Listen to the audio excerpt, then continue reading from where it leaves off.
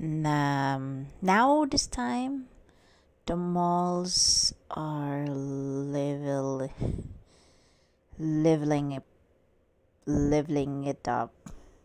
To remove the arrow where you can follow to walk and replace these small bits. So i don't know what is this means.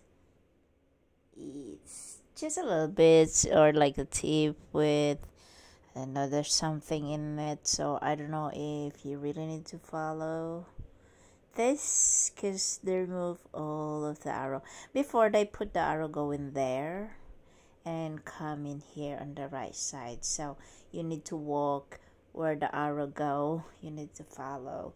And now the chains like you're like very tiny smaller than fingernails so i don't know why but anyways